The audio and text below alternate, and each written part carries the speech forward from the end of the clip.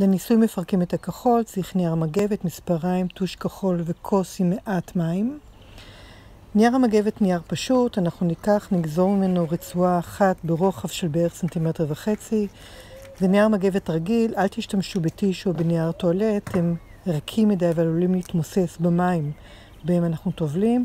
עושים סימן עם איזשהו טוש כחול, זה יכול להיות סטבילו, זה יכול להיות פרמננט, תבחרו טוש כחול שיש לכם בבית, ולשים מעט מים בתוך כוס שקופה.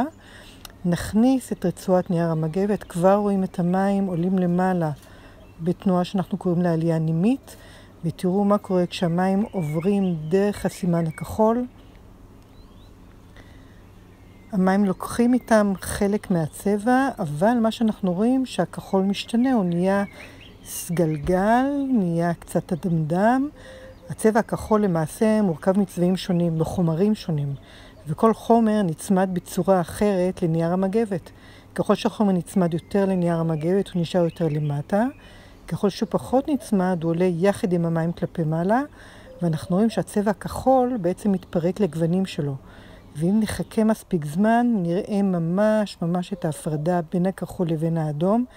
ואם נחכה קצת יותר זמן, נראה את ההפרדה בצורה מאוד מאוד ברורה. הצבע הכחול בעצם לא כל כך כחול.